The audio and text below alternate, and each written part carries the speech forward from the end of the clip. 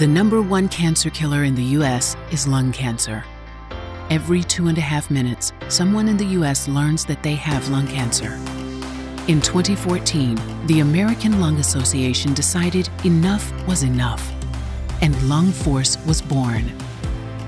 And CVS Health was there with us every step of the way walking alongside survivors at Lung Force Walks, supporting new endeavors like our Lung Force Expos, galas, Advocacy Day, awareness campaigns, and our State of Lung Cancer Report, and raising funds every year to help us grow our mission.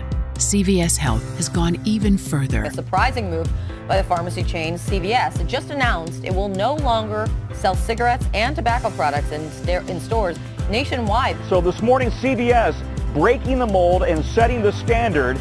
My mother-in-law died from lung cancer in 2011. In her memory, we volunteer at our local lung force walk every year. I've been working for CVS Health for 12 years now, working from a cashier up to a shift supervisor. And I'm so proud to be a part of an organization that gives back. Because of CVS Health's support, we have been able to increase our annual investment in lung cancer research by over 200%, totaling over 12.5 million since 2014. Support more than 86,000 patients and caregivers with health education online resources.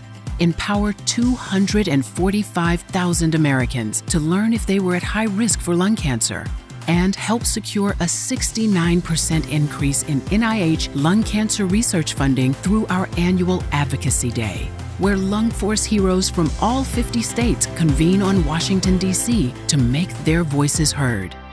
But even heroes need a champion to take their individual voices and lift them up to create a national movement. Thank you, CVS Health, for being our champion and Lung Force hero.